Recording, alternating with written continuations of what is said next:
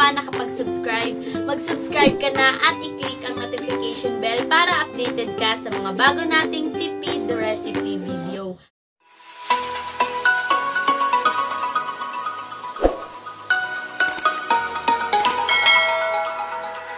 For today's video guys, gagawa tayo ng leche plan sa halagang 20 pesos mo. Paano masabi? So, let's get started. Ito po ang mga gagamitin natin sa paggawa ng ating leche flan. 1/4 cup of sugar, 1/4 cup of water, 1 egg, and 33 grams of milk powder. Una nating gagawin ay maglagay muna tayo ng 2 tablespoon ng sugar sa ating lianera para i-caramelize. Ilagay natin ito sa mahinang apoy lamang para hindi siya masunog at alog-alogin natin ito. Nag-caramelize na ang ating sugar, iset aside muna natin ito at gawin na natin ang ating milk mixture. Ilagay natin ang isang pack ng ating milk powder. Ilagay din natin ang ating sugar at ang ating water.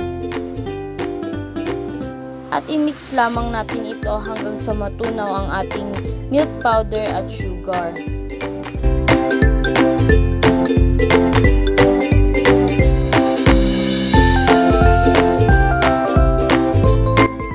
Separate na lagayan naman, ilagay natin ang ating egg. Lalagyan ko rin pala siya ng 1-4 teaspoon ng calamansi juice para matanggal ang kanyang lansa. Pwede rin kayo maglagay ng instant coffee or vanilla.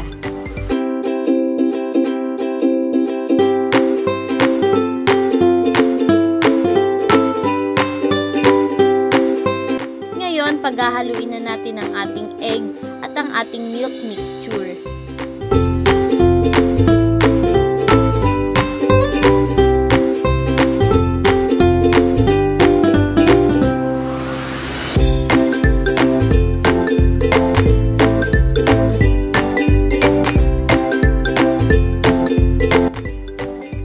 Isasali na natin ito sa ating lianera.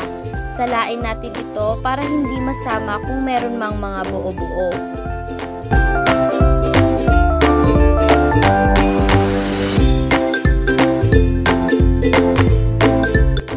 Ayan, nasali na natin. Takpan natin siya ng foil.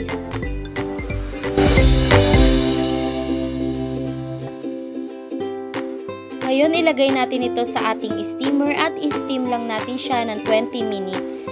20 minutes later. And ready na ang ating leche flan.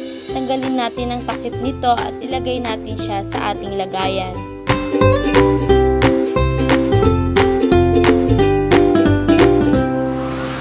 Ito na po ang ating finished product guys.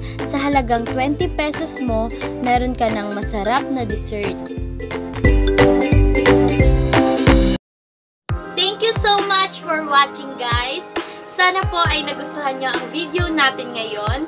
Please like, share, and comment na rin po sa lahat ng gusto magpa-shoutout para ma-shoutout ko po kayo on my next video.